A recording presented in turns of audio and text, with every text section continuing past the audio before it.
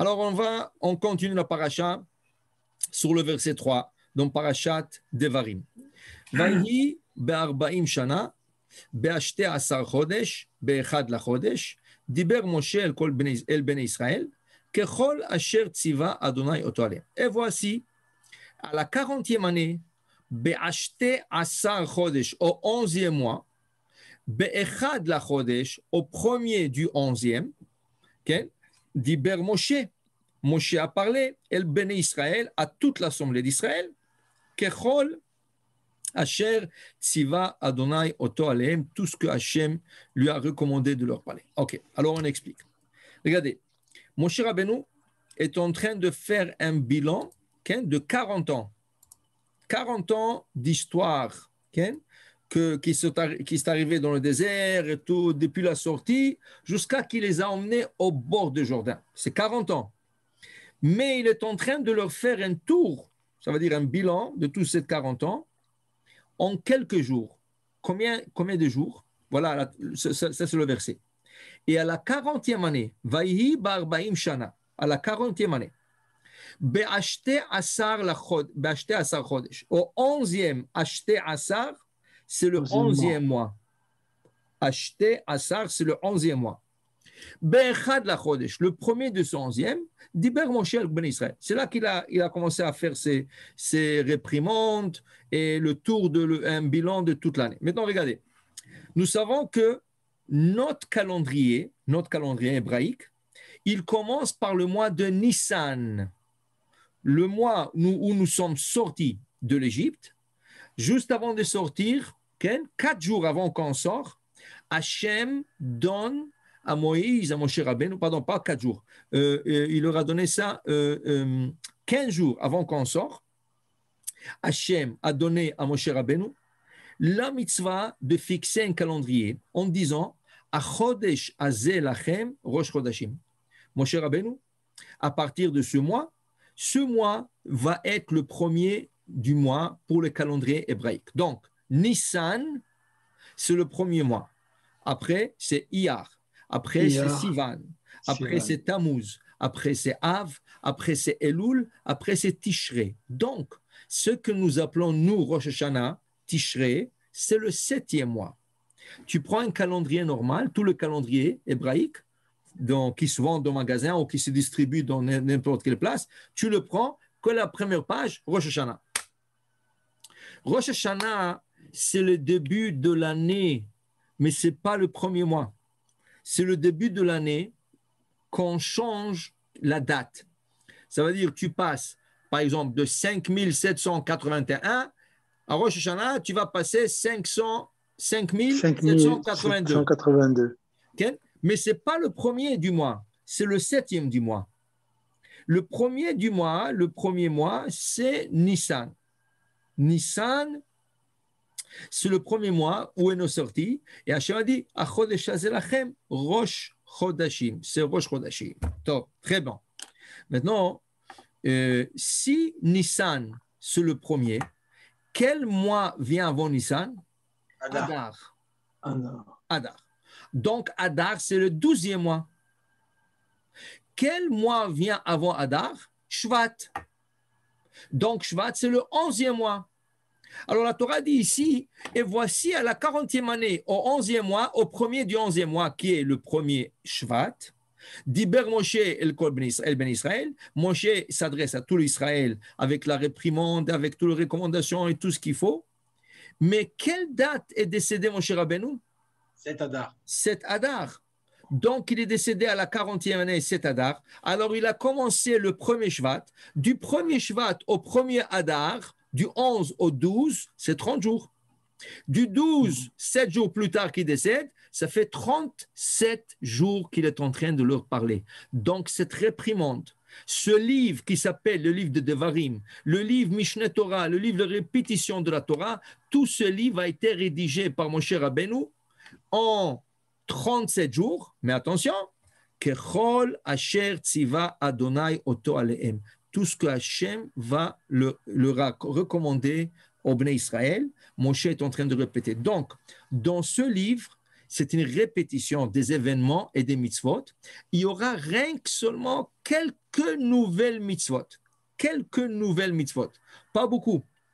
Il y aura quelques nouvelles mitzvot qui vont être renouvelées ici dans, la, dans, la, dans ce livre, dans le, le, cinquième livre.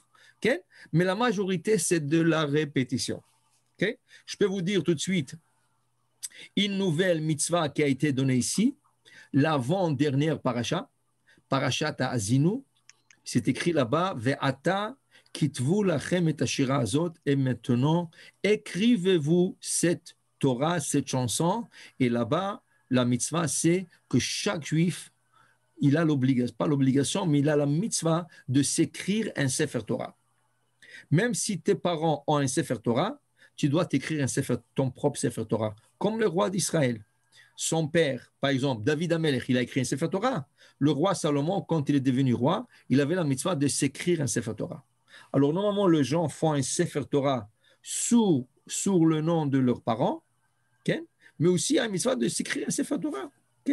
Alors, si tu as fait la mitzvah sur tes parents, tu as fait la mitzvah. Tu as fait la mitzvah.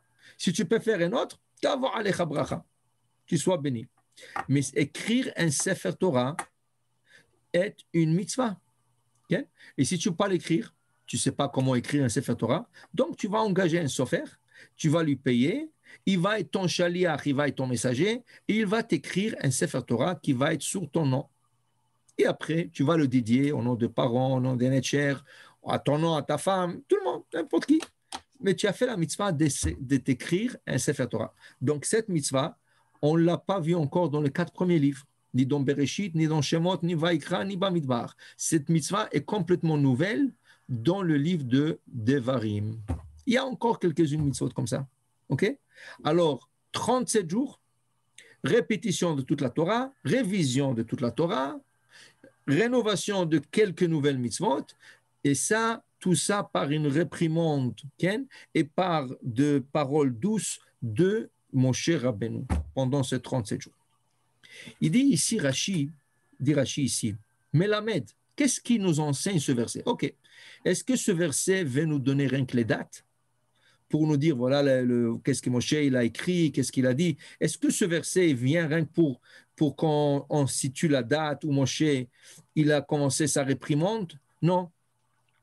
Melamed, ça nous enseigne aussi ce verset, Shelo ochichan ela samuch lamita. Moshe Rabbeinu, il a fait cette réprimande juste avant de quitter ce monde. Ça veut dire que cette réprimande, il aurait pu la faire quand il veut. Pourquoi il a attendu, il attendait le 11e mois? Pourquoi il n'a pas fait ça en Nissan ou dans le Hadar de l'année d'avant?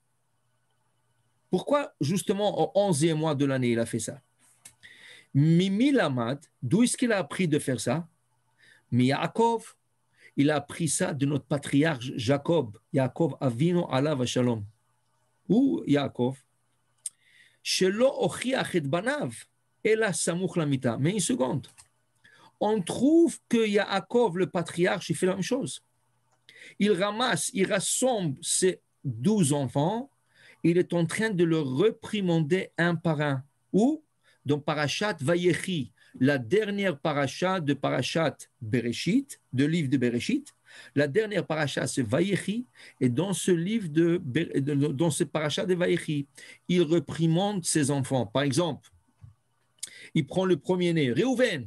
Réhouven, toi tu cours comme de l'eau, comme l'eau est en train de courir, toi aussi tu as couru, mais tu n'as pas pensé sur qu'est-ce que tu as fait. De quoi il reprimande Réhouven il réprimande Rouven de lui avoir empêché d'avoir un treizième enfant. Yaakov voulait avoir treize enfants. Pourquoi? Il a été promis, Yaakov, que s'il aura douze enfants, quand il quitte ce monde, il va aller directement à Gan Et voilà qu'il avait peur que quelque chose arrive à un de ses enfants. Il voulait avoir treize enfants et Reuven l'a empêché. Est-ce qu'il avait raison, Yaakov? Oui, parce que Yosef a disparu. Et si le frère aurait tué Youssef, c'est pour ça qu'Yaakov avait toujours peur de quelque chose arrive à un de ses enfants. Il ne savait pas que ça va arriver ça, mais quelque chose arrive à un de ses enfants. Il voulait avoir un treizième. Qu'est-ce qui arrive? Après le décès de sa femme la plus favorite, euh, Rachel, il, il prend son lit et il le met dans la tente Ken, il met dans la tente de Bilha, la servante de Rachel. Réhouven ne l'accepte pas. Pourquoi? Il dit comment? Quand Rachel était vivante, Rachel et sa mère, Léa, étaient comme des rivales. Chacune a essayé d'avoir plus de enfants. Baruch Hashem, sa mère, elle a eu six garçons. Il a dit maintenant que Rachel est décédée, c'est pas plus normal que Yaakov revient chez sa mère, Léa. Les deux autres femmes sont des servantes. Oui, c'est les femmes de Yaakov, mais c'est des servantes. Alors normalement, Reuven, qui était jeune à cette époque, il a dit normalement, Yaakov, mon père, devrait revenir vers ma mère, Léa. Alors qu'est-ce qu'il a dit? Il a dit, je vais l'empêcher d'avoir un enfant. Le soir où Yaakov se prépare avec Bilha d'avoir le treizième garçon dans la famille, qu'est-ce qu'il a fait Reuven Il fait du bruit dehors. Yaakov, il dit, je ne peux pas être avec ma femme quand il y a du bruit dehors, quelqu'un qui passe dehors, quelqu'un qui tourne dehors. Il, il a décidé de ne pas être avec Bilha ce soir-là, et c'était la fin. Il n'a jamais eu un autre garçon. Alors il est en train de lui dire à Reuven une réprimande. Tu as couru comme de l'eau. Il a compris, il savait que c'est Reuven à la fin. Il savait que c'est Reuven. Elle dit, tu sais, l'eau, quand elle court, elle ne pense pas. Toi aussi, tu as couru faire une action que tu n'as pas pensé. Ça aurait été bien que j'aurais un treizième garçon. Mais tu ne m'as pas laissé. Alors, c'est une réprimande qu'il a fait quand? Le jour qu'il a quitté ce monde.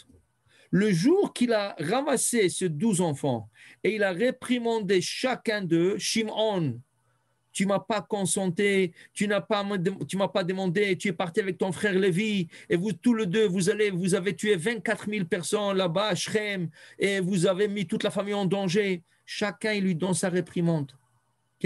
Quand?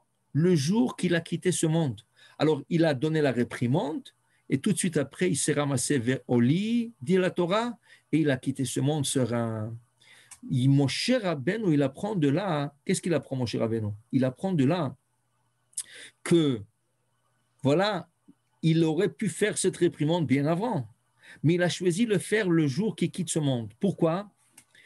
Ella Samour Lamita, c'est mieux, mieux, toujours, faire une réprimande juste avant de quitter ce monde, juste avant de, mourir. Pourquoi? Amar, Ken, Amar, Yaakov dit, Yaakov, le patriarche dit, Réhouven béni, Réhouven mon fils, Ani Omer Lecha, moi je te dis, pourquoi je te pas réprimandé sur ce que tu as fait tous les années qui sont passées? Il y avait beaucoup de années qui sont passées. Et jamais Yaakov a parlé de ça avec Réhouven. Il lui a jamais dit voilà, qu'est-ce que tu as fait? Tu n'aurais pas dû le faire. Tu m'aurais dû parler. Tu m'aurais dû expliquer. Je t'aurais expliqué pourquoi je veux avoir un treizième enfant. Jamais. Yaakov lui a jamais rien dit. Juste le jour de son décès, il lui dit pourquoi? Dit Yaakov à Reuven Reuven, tu sais pourquoi je t'ai jamais réprimandé? Pour que tu me laisses pas et tu vas te coller à Esav, mon frère. Vous savez, quelqu'un, quand il a honte ou quand il ne se sent pas confortable, qu'est-ce qu'il fait? Il peut sortir des barrières il peut aller dans des endroits où il n'aurait pas allé normalement. Yaakov Avinu avait peur. S'il réprimande son fils Réhouven, qui était jeune à cette époque, combien il a été Réhouven? Il avait 7 ans. Non, même pas. Euh, non, il avait peut-être 7, entre 7 et 10 ans. Non, une seconde, il avait déjà 13, non, il avait un peu plus. C'est ça, 10, 10 et un peu plus. Il a dit, tu sais pourquoi je ne t'ai pas réprimandé Parce que c'est très simple, j'avais peur si je te dis quelque chose et tu, vas être blessé, tu vas aller joindre mon frère Esav. Et Esav, c'est un rachat. Et tu vas te coller à lui et tu vas faire des bêtises. Je voulais rien te dire. Le regardez la chokhma de Yaakov. Il faut savoir quand réprimander aussi. Si tu réprimandes quelqu'un et il n'a il a pas bien pris, il risque de faire une bêtise. Et la, la plus grande bêtise, c'est quitter le judaïsme. Alors, des fois, c'est mieux de rien dire. Alors, pourquoi il a fait Teshuvah toute sa vie? Oh S'il n'avait rien dit, il a fait Teshuvah toute sa vie. Voilà, Donc, il sait qu'il a fait une faute. Exact. Rouven, Rouven était sadique. Ken était sadique. Mais tu sais, même si tu es sadique, le fait que son père lui a pas parlé, ça c'est la raison qui lui a permis de faire Teshuvah. Mais si le père l'aurait dit quelque chose, peut-être il serait blessé profondément au point qu'il aurait tellement honte, il aurait quitté le judaïsme. C'est ça qui peut arriver. Une personne qui a tellement honte, qui, qui est dégoûté de ce qu'il a fait, il risque de faire des bêtises. Donc Yaakov savait que Yerouven c'était un sadique, mais il, a, avait peur de le blesser. Donc, il faut faire attention quand tu réprimandes, comment tu réprimandes et à quel moment tu réprimandes. Alors il a dit, Yaakov, je ne voulais pas te réprimander toutes ces années parce que j'avais peur que tu joins mon frère Esav. Et Rachid nous dit, d'aller devarim. Il y a quatre raisons. Quatre raisons. Adam qu'on ne réprimande pas une personne, elle a samouch lamita, que avant le décès. Pourquoi? Imagine-toi que la personne ne l'a pas accepté, qu'est-ce que tu lui as dit? Toi, tu es obligé de lui répéter ça. Alors quoi Tu vas lui répéter, et répéter, et répéter, et répéter. Si tu lui dis avant le décès, tu lui dis une fois et tu quittes ce monde, tu as fait ton devoir. Le Maïmonide nous dit, quand tu dois réprimander une personne, s'il n'a pas compris ou s'il n'a pas pris, tu dois lui faire la, la, répétition et tu dois répéter jusqu'à 100 fois s'il faut. Jusqu'au point que cette personne lève la main pour te frapper. Si cette personne, après, tu l'as dit une fois ou deux ou trois, et il faut pas faire ça, c'est pas bon, tu sais, c'est la Torah n'interdit de faire ça. Et la personne dit, écoute-moi, la prochaine fois que tu vas me dire, je vais te donner un coup de poing. S'il t'a dit ça, Baruch Hashem, tu viens de m'enlever l'obligation de te réprimander. Merci, c'est fini. Si tu veux me frapper, tu ça veut dire que moi, j'ai fait mon devoir. Donc, le plus tard possible qu'on réprimande une personne, c'est mieux, parce que tu ne sais pas s'il va l'accepter ou pas. S'il n'accepte pas, tu as l'obligation de le répéter, de le répéter, de le répéter, de le répéter. Et des fois, il y a des gens qui se découragent. Combien de fois je vais le dire? Ça, c'est raison numéro un. Après, tu sais, l'autre aussi, même s'il a accepté, chaque fois qu'il va te voir, il va avoir honte de toi. Alors, chaque fois que tu passes, lui, il a honte. Alors, c'est mieux de le faire proche du décès. Comme ça, quand la personne quitte le monde, l'autre, il n'a plus honte. Il va accepter qu'est-ce que tu lui as dit, mais il n'aura plus honte. Il dit ici, Vechen, ainsi, Yoshua, Yoshua Binoun, l'élève de Moshe Rabbeinu, lo ochiach et Israël, ela lamita. Yoshua apprend de son maître. Et son maître, euh, euh, apprend de Yaakov. Alors, comme Moshe a appris de Yaakov Avinu de ne pas réprimander que juste avant le décès, ainsi Yoshua, le disciple de Moshe Rabbeinu, a réprimandé le peuple d'Israël juste avant de quitter ce monde. Vechen, et ainsi, Shmuel, le prophète Samuel, Sheneemar, juste avant de quitter ce monde, il rassemble tout le peuple d'Israël et il leur dit Ineni, voici je suis. Anoubi, dites-moi, qu'est-ce que je fais du mal ou qu'est-ce que je vous ai fait du mal? Et dites-moi aujourd'hui, avant de quitter ce monde. Lui aussi, le prophète Samuel, l'a fait juste avant de quitter ce monde. Et après, Vechen David et Shlomo Beno. David a réprimandé son fils Salomon. Juste avant son décès. Alors tu vois que si tu as quelque chose à dire à une personne, il faut le réserver vers la fin. Mais non, tu ne sais pas quand est la fin. Alors le plus proche, vers la fin. À moins que la personne est en train de faire un grand péché. Ça veut dire, ici, il faut comprendre. Ici, on parle que la personne a fait une seule fois le péché. Fini. Maintenant, je dois lui réprimander tu sais, c'est pas bien qu'est-ce que tu as fait. C'est pas bien. Alors, j'attends, j'attends. Comme Reuven l'a attendu jusqu'à la fin, il lui a dit. Mais si tu vois une personne répéter une faute chaque jour, chaque jour, chaque deux jours, chaque semaine, il répète la même faute, c'est pas bien d'attendre jusqu'à la fin. parce que tu laisses la personne frotter. Alors il faut le réprimander. Comme la Torah dit,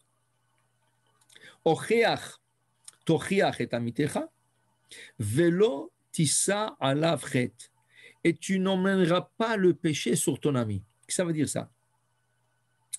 La Gemara nous explique, quand tu viens réprimander quelqu'un, tu dis, écoute, euh, Shabbat, il ne faut pas que tu fais ça. Et ça que tu manges, c'est pas cachère. Là-bas, c'est pas un endroit cachère où tu manges. Et, il faut pas que tu touches à cela. Et la personne ne veut pas. Il ne veut pas t'écouter. Le fait que tu l'as réprimandé, tu prends, tu prends ses mitzvot à lui. Tu prends le mitzvot qui lui il a fait. Et lui, par contre, il prend tes péchés. Alors ton paquet de péchés, il prend alors maintenant, si quelqu'un dit, ah, tu sais quoi, je vois l'autre qui est en train de pécher, je vais aller lui réprimander, comme ça, lui prend mes péchés, moi je prends ce mitzvot. Dit la Torah, attention, il faut jamais avoir cette idée. Quand tu réprimandes ton ami, mais pas d'une manière que tu mets tes péchés sur lui. Ne le fais pas avec l'idée ah, il va prendre mes péchés, lui. Il va, tout le péché, il va le prendre. Fais-le le Shem Shamaim. Fais-le au nom du ciel, qui veut dire fais-le d'une manière que tu espères qu'il t'écoute et il arrête de faire ce péché. Et que tu n'as pas à lui mettre sur son dos tous tes péchés à toi. Ça, c'est une vraie réprimande. C'est pour ça que la Gemara nous dit on ne sait pas si dans notre génération, il y a quelqu'un qui sait comment réprimander. C'est très difficile de réprimander quelqu'un. Je vais vous expliquer. Pourtant, la critique est facile. La critique est facile, mais si tu veux réprimander une personne sans lui faire honte et sans... Je vais vous expliquer. Une fois, une fois, il y avait un rave, un grand rabbin en États-Unis. Il a donné il y avait une salle pleine. Il a donné un Dvar Torah, quelque chose de très, très intéressant. Et pendant le Dvar Torah, pendant le Dvar Torah, il racontait une histoire du Chafetz Chaim. Que le Chafetz Chaim, il avait une manière très spéciale comment réprimander une personne. on va donner quelques exemples, mais pour ce sujet, pour cette histoire. Et il a dit, une fois, il y avait un garçon à la écoutez ça, un garçon à la du Chafetz Chaim, qu'il a été attrapé pendant Shabbat, qu'il a fumé une cigarette. Très rare. Un garçon à la qui fume une cigarette le Shabbat. Shabbat. Waouh! On est venu le dire au Chafetz Chaim. Ils sont venus le dire au Chafetz Chaim. Vous savez que tel garçon, on l'a attrapé fumé une cigarette Shabbat. Le Chafetz Chaim, il ne savait pas. Il ça l'a traumatisé. Mais le lendemain, il a appelé le garçon dans son bureau. Il a dit Viens, je dois te parler. L'autre, il tremblait. Il tremblait. Il savait que tout le monde le savait déjà, et qu'ils ont dit au Chafetz Chaim, il ne savait pas qu'il va lui crier, il va lui jeter de la ça va être une onde, ses parents, ils vont savoir, la ville va savoir, tout le monde. Il est rentré au bureau de Chafetz Chaim, il lui a fait asseoir. Il a pris la chaise, il est venu s'asseoir à côté de lui. Il lui a pris la main. Il lui a mis sur, il a commencé à le caresser la main. Et il a commencé à dire Shabbat, Shabbat, Shabbat, Shabbat. Et il commençait à pleurer. Le Chafetz Chaim pleurait, Shabbat. Shabbat, c'était Shabbat, c'était Shabbat. Il pleurait, il pleurait pendant 15 minutes. Lui, il lui caressait la main, il dit Shabbat, Shabbat. Il a dit, le garçon a fondu. Il a fondu. Il lui a pas parlé. Il lui a pas crié. Il lui a pas réprimandé. Il lui a pas jeté de la yeshiva. Il a pleuré, il a pleuré, il a pleuré. Shabbat, Shabbat, comment tu Shabbat, Shabbat. Il a fondu. Et il a promis qu'il va être un Shomer Shabbat comme il faut, tout ça, et Baruch Hashem. Et le Rav continuait, c'était un discours, alors le Rav continuait, tout ça. Baruch Hashem, Après une heure et quelques, la dracha s'est terminée. Le gens applaudi. C'était un discours magnifique. C'était magnifique votre discours. L'histoire était rien une histoire dans tout un discours. Et là, le gens quittaient la salle. Le gens quittaient la salle. Petit à petit, c'est une grande assemblée, une grande, grande réunion, tout ça. Les gens quittaient la salle. Et le conférencier, il est resté là-bas jusqu'à, avec des questions, les gens venaient lui poser des questions et les gens quittaient la salle, bien, jusqu'à que la salle était vide. Du coup, ce conférencier, ce conférencier, il voit un homme sur une de chaise, comme s'il est endormi. On dirait qu'il dort, on dirait que. Et c'était un, un homme euh, apparence assez âgé. Il était assez âgé. Alors il a dit le pauvre, il s'est, fatigué et tout ça. Alors euh, il a dit que bon, je vais aller le réveiller, je vais, je vais, je vais aller lui parler. Donc, qu'est-ce qui est arrivé? Il est parti là-bas, le conférencier est parti. Il s'est assis à côté de monsieur et il entend comme quoi cette personne est en train de pleurer. Et la tête était baissée. Il pensait qu'il dormait, mais il ne dormait pas. Il pleurait il pleurait avec des larmes, avec des larmes, avec des larmes. Alors il lui dit, euh, excusez-moi, je ne sais pas, est-ce que je dis quelque chose pas en place ou est-ce que quelqu'un vous a fait quelque chose dans l'audience? Il a vu un homme âgé en train de pleurer comme ça, il a dit, comment je peux vous aider, s'il vous plaît, dites-moi, dites-moi. Et l'autre, il pleurait, il n'arrivait pas à parler jusqu'à qu'il a pris un peu son, son souffle. Il lui dit, vous avez raconté l'histoire du Rafetz Chaim avec le garçon qui lui a caressé la main, il pleurait Shabbat. Il dit oui, oui, oui. Il lui dit c'est moi le garçon. C'est moi. Moi, j'étais le garçon à qui, et je me rappelais maintenant, vous m'avez rappelé comment il m'a caressé la main et comment il pleurait. C'est moi. Le conférencier était bouche bée. Bouche bée. Il a dit Waouh, regarde quelle coïncidence. Il lui a dit, le Chafetz Chaim n'avait pas à me parler. Son, ses larmes qui descendaient étaient chaudes, ses larmes étaient sincères. Son cœur, je sentis que dans son cœur, il avait mal le fait que, que j'ai fumé la cigarette Shabbat. Et c'est ça qui m'a fait faire tchouva. C'est ça la réprimande du Chafetz Chaim. Deux fois, pour faire une réprimande à quelqu'un, tu n'as pas besoin de parler.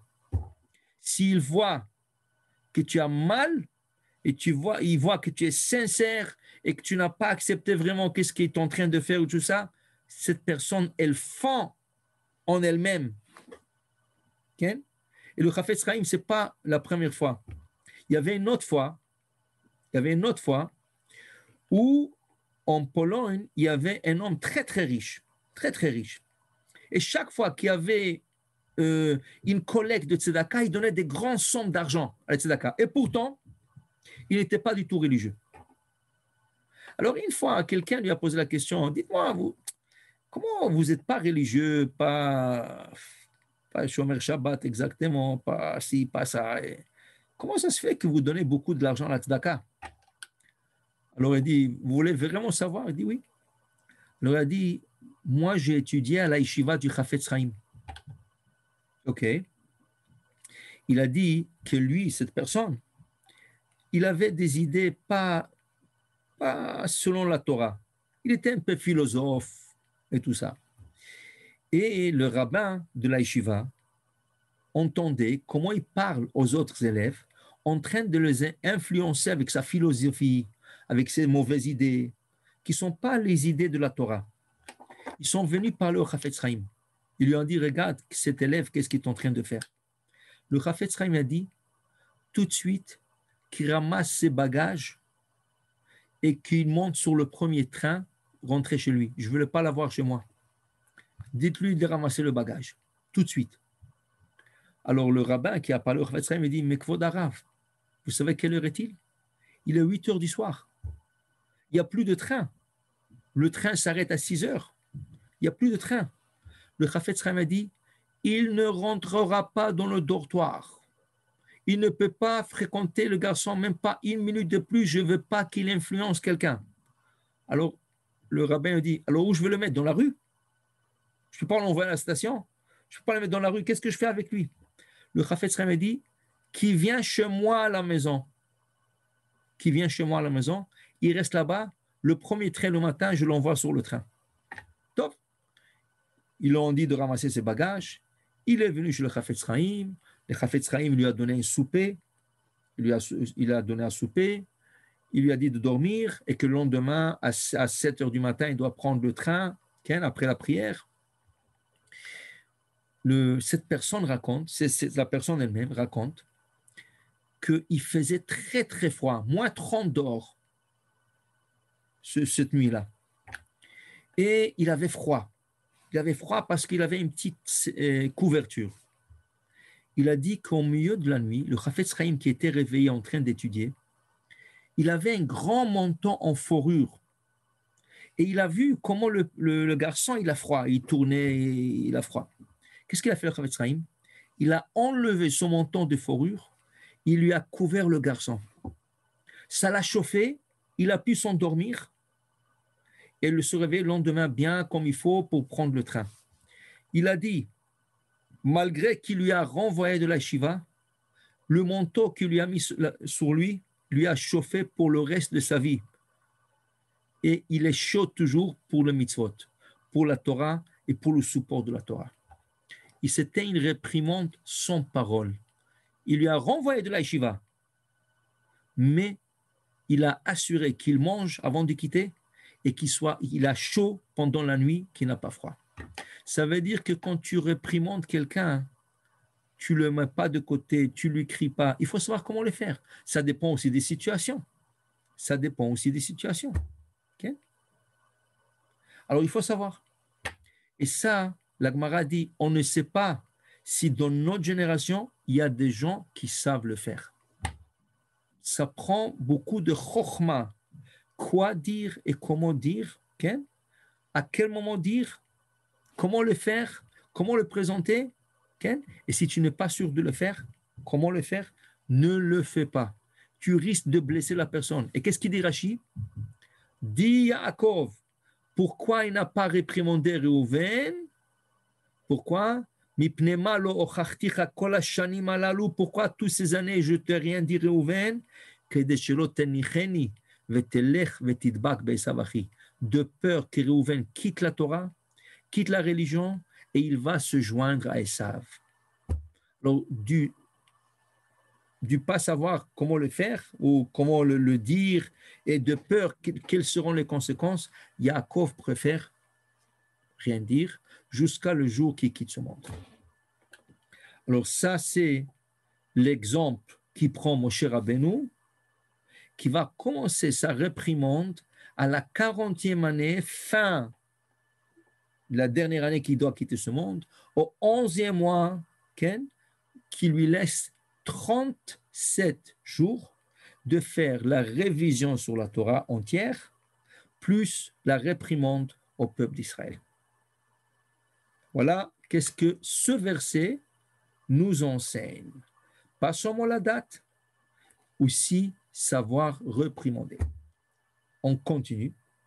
Tout ça, ça a été commencé, tout cet événement de répétition de la Torah a été commencé à Chare à Koto, après que Moshe Rabbeinu a frappé Sichon Melech Mori, Sichon le roi des Morites, Asher Yoshev Becheshbon qui était installé dans la ville de Cheshbon, Vet Og aussi il a frappé Og Melech Bashan, le frère de Sichon qui s'appelait Og, le roi du Bashan, Asher Yoshev Bashtarot Bedri, qui était installé dans le Ashtarot d'Edri.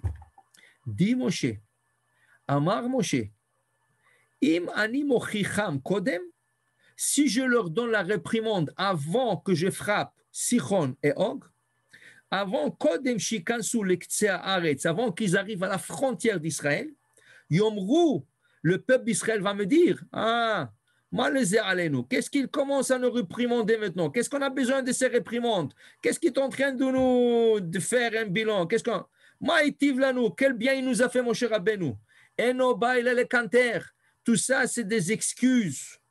Il n'a pas la possibilité de nous faire entrer en Israël, donc il trouve des excuses pour nous blâmer. Ça, c'est s'il aurait fait Moshe la réprimande avant de frapper Sichon et Og. Le fikar, c'est pour cela, imtin, il a attendu avec sa réprimande, mon cher Rabbeinu. Ad sheipil sichon ve'og lifneem, jusqu'à qu'il a fait tomber Sichon et Og devant le peuple d'Israël. Et il leur a donné au peuple d'Israël leur pays, à Gad et et la moitié des tribus du Ménaché. Ça veut dire le timing. Le timing, ça veut dire le temps propice. Il faut savoir comment le faire, à quel moment le faire, et il faut trouver le moment propice. Dis Moshe, si je leur fais la réprimande avant de faire tomber ces deux gens, qu'ils étaient juste à la frontière d'Israël, ils vont dire Ah, il n'a pas la force de, de, de battre les deux gens. Ah, il ne peut pas nous rentrer en Israël. Donc, il est en train de nous réprimander comme si c'était notre faute. Donc, Moshe, il dit non, non, non. D'abord, je vais faire tomber ces deux gens. Je vais leur clarifier la place. Je vais nettoyer la place. Je vais leur donner leur pays. Gad, Reuven, Khatzisham Naché. Et maintenant qu'ils sont prêts à rentrer en Israël, j'ai tout fait jusqu'à la dernière chose qui est de les emmener rien qu'à traverser le Jourdain. Mais là, je peux leur réprimander. Ça, ça fait partie du premier verset qu'on a lu qu'il a attendu jusqu'à la fin, mais il, a attendu, il attendait aussi la guerre de Sichon et de Og et de gagner cette guerre. Regardez ce Sichon. Qu'est-ce que c'est Sichon? Sichon, Melech le Sichon Melech Haimori, Asher Becheshbon, qui était assis dans une ville qui s'appelait Cheshbon. Ilou lo haya Sichon caché? Si Sichon n'était pas un roi dur et fort, Vaya Sharoui Becheshbon, et il, aurait été, il aurait vécu à Heshbon, Aya caché, ce serait difficile de conquérir ce pays. Pourquoi? Kasha, c'est un pays difficile, fortifié, fort. C'était impossible de le conquérir. Veilu, et si, Aïta Iracheret, si tu aurais pris notre ville, pas aussi forte, fortifiée, Vesichon, et Sichon le roi, Sharoui Betocha en elle, Aya caché, il serait difficile de le, battre. Pourquoi? L'air caché Parce que c'est un roi dur, un roi fort. Kama vekama, à plus forte raison, la Medina cacha. Tu as un pays très fortifié et tu as un roi très dur et très fort. Combien difficile c'était de battre Siron. Et quand même, Moshe a réussi de le descendre. Et après, tu as son frère Og. Og, c'est un géant que mon cher Rabbein avait peur de lui. Mon cher Rabbein avait peur de lui. Et pourquoi il a peur de lui? Parce que selon le Zohar, Og était le Eliezer, Eved d'Abraham. Og était Eliezer, serviteur d'Abraham. Après le décès d'Abraham, Eliezer, il a mal tourné. Et il est tourné être Og, il s'appelait Og, et il voulait il voulait se retourner contre les enfants d'Abraham. ça, c'est selon le Zohar? Selon le Zohar, oui. Wow, j'ai jamais entendu ça. C'est pas tout le monde que. Qui c'est Kevin? C'est Tazria. Waouh, waouh, waouh. Mazal Tov, Kevin. Merci, Rav. Alors, ça, c'est le Zohar. C'est pas tout le monde qui pense comme ça. Il y en a qui pensent que Og, c'est Og, Eliezer, c'est Eliezer. Mais le Zohar, il dit Eliezer, c'est. Et, et Og, c'est Eliezer. Et regardez Rachid, Rachid l'insinue dans son commentaire, dans Parachat, euh, euh, là où ils vont faire la guerre contre le Midianite, dans Parachat Pinhas, Rachid dit là-bas, Moshe a peur de lui. Dit Rachid, pourquoi il a peur de lui? Est-ce que sa taille? Non, pas du tout. Moshe a peur de lui parce qu'il a été circoncis par Abraham Avinu. Il a dit, comment je peux battre une personne qui a été circoncis par Abraham Avinu? Donc, c'est Eliezer. Donc, Rachid l'insinue aussi dans son commentaire. Comme je vous ai dit toujours, Rachid, c'est pas son pshat.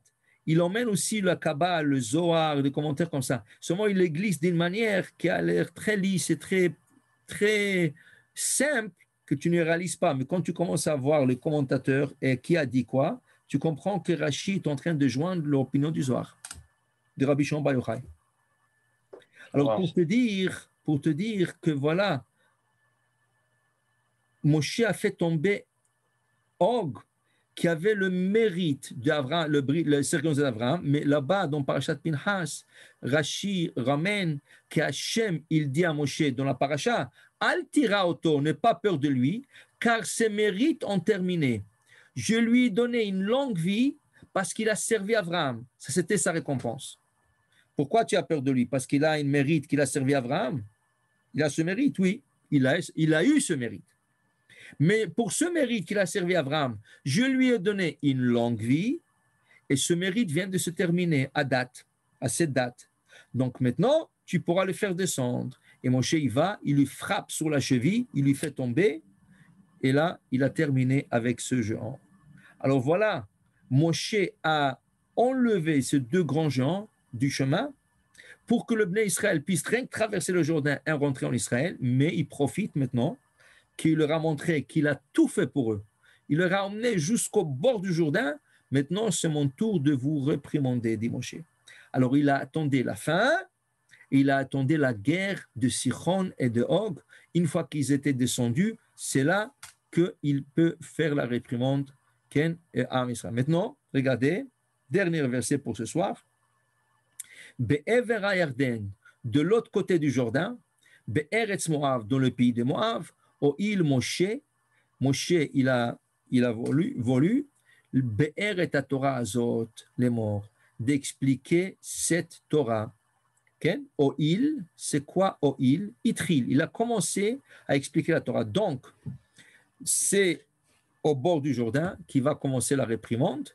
Be'er et Torah, il a commencé aussi à expliquer la Torah. Regardez Rashi, extraordinaire Rashi, Beshivim Lashon Persha Laem il a commenté la Torah en 70 langues. En hébreu, en anglais, en français, en espagnol, en arabe, en créole, en n'importe ce que tu veux. Il a 70 langues. Il a expliqué toute la Torah. C'est extraordinaire. Il aurait pu expliquer la Torah. Dites-moi, on parle français, alors tout le cours est en français. En, en Israël, il parle hébreu, alors tout le cours sont en hébreu mais il est en train de leur faire le commentaire entier de la Torah en 70 langues. Pourquoi? Ça, c'est une notion kabbalistique. Quand tu utilises quelque chose de goïm, quand tu utilises quelque chose de goïm, ça fait rentrer la kedusha, la sainteté dans la chose. Il a rentré la kedusha dans le dans le parole de goïm qui aura une certaine Kedusha. Alors, je vais vous donner un exemple. Rabbi Eliezer de, de Papa, de euh, Yoetz, Rabbi Eliezer Papo, comme ça il s'appelait ce Rebbe, il a écrit un livre qui s'appelle Pele Yoetz, dit que tu n'as pas le droit d'omettre le nom de Dieu dans des autres langues. Ça veut dire que tu n'as pas le droit de dire le mot Dieu. Pourquoi? Il dit parce que ce mot, c'est l'équivalence de Hachem. Et comme tu dis pas Hachem en hébreu, tu dis pas Amonai, tu dis Hachem. Ainsi, en français et en anglais, tu ne diras pas ce mot. Est-ce que tout le monde sont d'accord? Pas tout le monde sont d'accord avec ça, mais pour, pourquoi? Parce qu'il dit qu'il y a un Kedusha qui rentre dedans. D'où vient cette Kedusha? De paroles de Moshe Rabbeinu, qui a rentré la Kedusha dans les 70 langues, qui aura quelque chose de Kadosh. Pourquoi? Parce qu'il savait que le peuple d'Israël va être exilé un jour dans le monde en entier.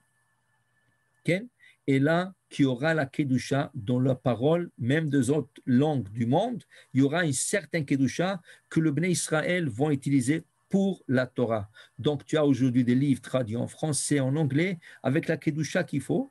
C'est pour ça que tu as un livre en français, en anglais, ça veut dire livre de Torah, tu n'as pas le droit de le jeter. Tu dois le mettre à la Geniza parce qu'il y a des paroles sacrées. Ah, mais tu vas dire c'est en français, mais c'est en anglais, c'est pas Kedusha. La Kedusha, c'est la Torah, c'est en hébreu, oui. Mais il y a une Kedusha qui est rentrée dans ces paroles, et c'est écrit, ça parle de la Torah, donc un livre en français qui a vieilli, il ne sert plus, que ce soit Tiling, que ce soit Pentateuch, que ce soit n'importe quoi, en anglais, n'importe quoi, tu le mets à la Geniza, à cause de la Kedusha qui a été euh, euh, euh, introduit dans les autres 70 langues que Moshe a expliqué la Torah juste avant de quitter ce monde, il a expliqué à tout le peuple d'Israël, Beshiv Im Lachon, avec 70 langues. Excusez-moi. Euh, oui, allez-y. pourquoi? À quoi ça sert qu'il a expliqué en 70 langues? Parce que de toute façon, le peuple ne parlait pas 70 langues. Qui t'a dit ça? Ah, Moi, je vous le dis. Il parlait qu'une langue, le Shana Kodesh. Oui. Mais sache que, sache que le peuple d'Israël je connaissais les 70 langues avec mon cher Rabbeinu. C'est pour ça que le Sanhedrin, pour faire partie du Sanhedrin, pardon, d'Aché Knesset Agedola, la grande assemblée, 120 rabbins, si tu connaissais pas 70 langues, tu pouvais pas être membre. Donc, l'Aché Knesset Agedola, chacun d'eux, 120 rabbins, chacun connaissait les 70 langues. Il y a un rabbin, un grand érudit, il a dit Je peux apprendre n'importe quelle langue, anglais, français, espagnol, créole, tout ce que tu veux, en 8 heures. En 8 heures. Alors quelqu'un lui a dit, il a posé la question Alors pourquoi vous ne l'apprenez pas, les autres langues? Il a dit Qui c'est qui a 8 heures? Je n'ai pas le temps. Parce qu'il était occupé d'étudier. Il a dit Je n'ai pas le temps d'aller étudier. Je n'ai pas le temps de mettre 8 heures dans apprendre des langues. Alors, il a dit C'est faisable c'est faisable d'apprendre. Alors, la Kedusha que Moshe mettait, émettait, émettait dans le peuple, ils parlaient tous le 70 langues. Donc la Torah, il leur a été donnée en 70 langues écrites sur, des pierres. Ils vont ramasser 12 pierres du Jourdain et sur, sur le 12 pierres, Moshe va écrire la Torah en 70 langues. Donc, Benjamin, le peuple d'Israël parlait 70 langues. 3 millions de personnes. 3 millions de personnes. C'est pas la fin du monde, hein C'est un jeu d'enfant. exact. Voilà. Baruch Adonai Leolam. Amen Amen. Est-ce que vous avez des questions?